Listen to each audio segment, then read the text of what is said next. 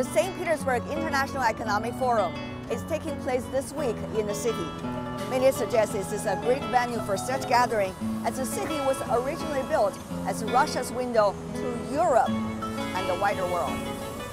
In fact, the historic architecture in the city center, mostly Baroque and neoclassical buildings of the 18th and 19th centuries, conveyed Tsarist Russia's European outlook.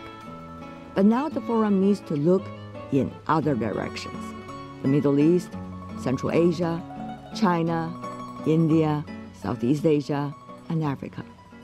Strolling along the Neva River, one could easily find the hustle and bustle of the promenade.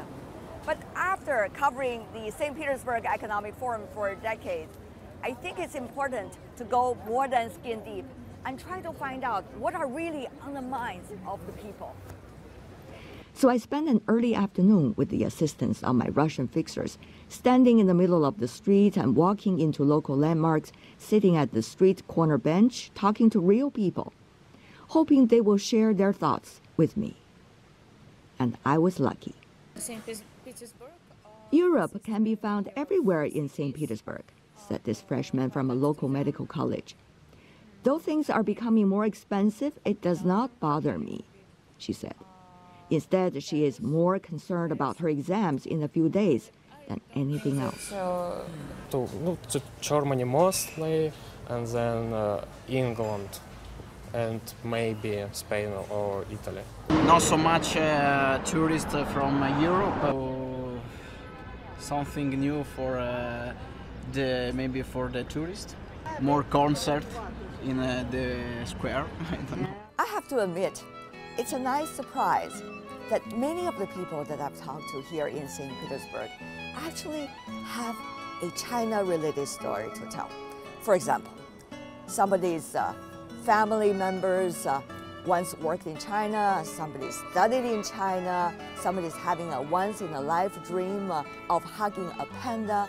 You know, the stories goes on. And some, like this engineering couple, even once worked in China for a few years and said it was an unforgettable experience. I used to work in China. We used to work in China. My, my sister was in China a few years ago for studying and for teaching uh, Chinese uh, kids. As a signature event, the St. Petersburg International Economic Forum is a familiar occasion for almost everyone I met. Well, suggesting they are not interested in politics, they are not economists either, they do want to tell me that they do have questions to ask.